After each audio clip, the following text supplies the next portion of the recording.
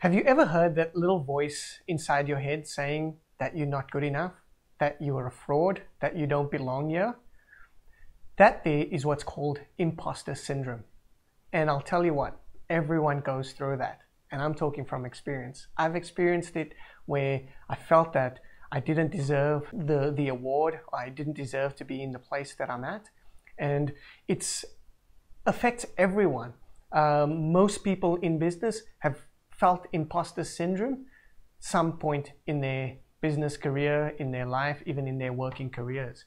It causes anxiety, it causes stress, depression, and it's just one of those kind of things that is really hard to get rid of. The more successful you are, the more you kind of feel like you're not worthy and you know you you're not um, you don't belong and uh, you know why are you getting the recognition it's it's somehow just what has developed over time and what society has instilled in us.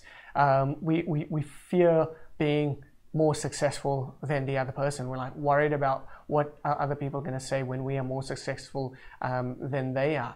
And you know, hopefully today I'm going to try and share a couple of things of how you can, um, you know, you can't completely bury it, but at least um, reduce that feelings of being an imposter. And uh, a couple of things, like I said, I've experienced this definitely, you know, throughout my my life. And you know, a couple of things that I've done is know and and bring it to my attention that it's not only me that's going through this. Everyone goes through this. So that gives me that sense of at least comfort to say, well, it's not only me. Other people are feeling this as well. Other successful people go through the same feelings and um, you know the, their mindset uh, uh, is very similar at the same time. So really, it's a trick that our mind is playing on me, and I, you know, bring that uh, and I become aware of it. So you know, I become mindful of the fact that I'm feeling that. So that's the first thing that I look at doing when I started feeling like that. Become aware of it, accept that it's there, hold it in my mind that that's what it is, and then I try and then I move on from that point as well.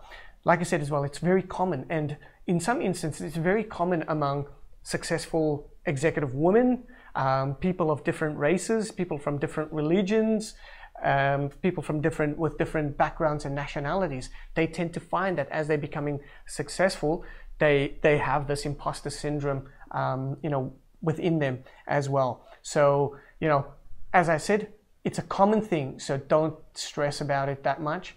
And you know, a couple of things that I think that um, I've used over time is you know, I look back at those accomplishments and then, you know, accredited that to the amount of hard work and effort that I put in. So I never just, you know, looked at it and said, I just uh, I got that award for, for no particular reason. It was always because of the amount of hard work and effort, dedication, and focus that I put into that particular activity and task. And that's why, um, you know, I accomplished that and I am deserving of that reward. Some of the other things as well is, you know, stop criticizing yourself or running yourself down. You are capable of doing the things and are capable of the position that you are in. So, as a business leader, as an entrepreneur, you know, there's not that many other people that that can can do what you do in your particular field. So, stop criticizing yourself. You've done certain things up to that point to get to you to where you are, and you know, you've got to um, be proud of what what it is that you've done as well. Another thing that we tend to do is we really go hard on ourselves, especially as entrepreneurs, as business leaders, when we make mistakes, right? And mistakes are going to happen. It's part of life. If you don't make mistakes, you're not learning. You learn from your own mistakes. You don't become successful um, just doing all the right things. You've got to continuously make a mistake, fall down, learn, fail, learn from that failure, and then move forward and that's again how you succeed. So don't take your uh, don't, don't beat yourself up when you make a mistake. It's going to happen. It happens to everyone. Everyone um, makes mistakes. So accept that it's part of that journey to become successful.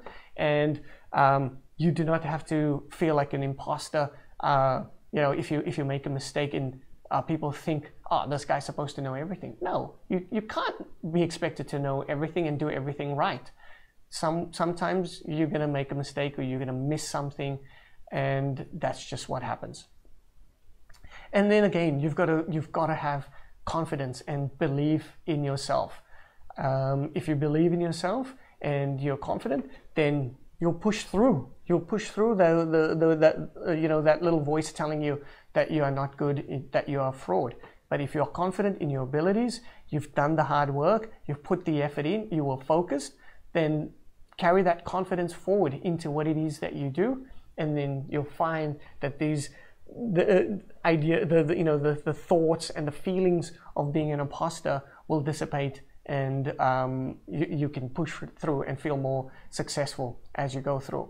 So it's a it's a tough topic, but it's a topic, like I said, that everyone does experience going through being an entrepreneur, being a business leader uh, at some point in, in your career that you're going to feel like an imposter, that you are non, not deserving of the position that you're in. But accept that, you know, everyone feels that way and you do not need to um, have that mindset, you know, any longer. It will always be there, yes, but what, do you, what can you do? The things that I shared is how you can um, break through that feeling, that mindset, and be, come out stronger and feel more confident in yourself and in your abilities.